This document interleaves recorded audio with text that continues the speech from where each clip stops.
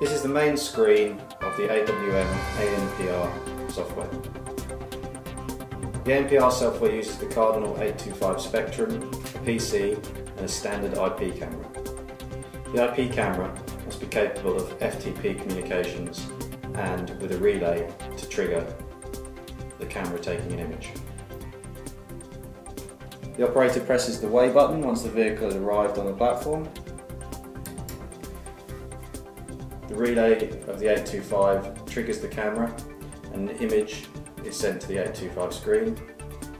The software calculates the registration plate from the image and shows it to the operator on the screen. If it's not correct, the operator can edit this registration number or press OK to continue. There's a confirmation screen that shows the truck registration number and the first weight and operator presses yes to continue. Weighing is then recorded. The vehicle drives off the platform, and then returns, and the procedure is repeated. The image is captured, registration shown, the operator can press OK, and the system recognises the first and second weight and the net weight. Operator then presses yes to accept this and a ticket is printed.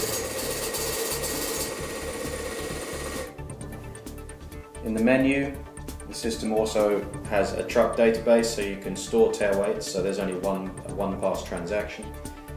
And there are various settings, as well as a USB report if required.